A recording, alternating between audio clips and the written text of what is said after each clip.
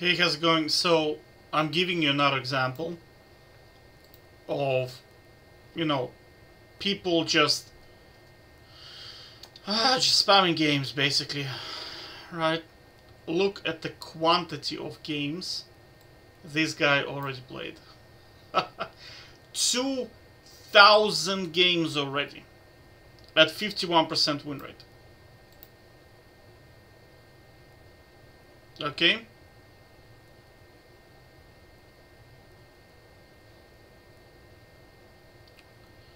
So I'm telling you, like, it's more about spamming than it is about skill. Because think about it this way, right? How do you develop skill?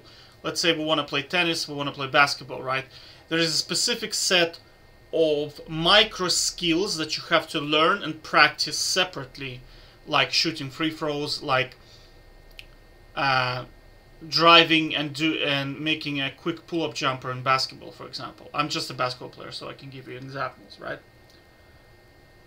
No one in their right mind practices for NBA going to local um, street ball court and starts playing 2000 games per year. Do you understand how it's kind of useless when you think about it?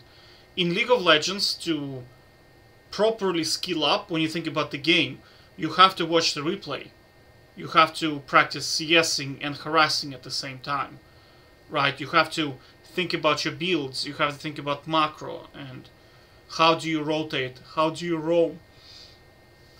But these guys know that that stuff is secondary.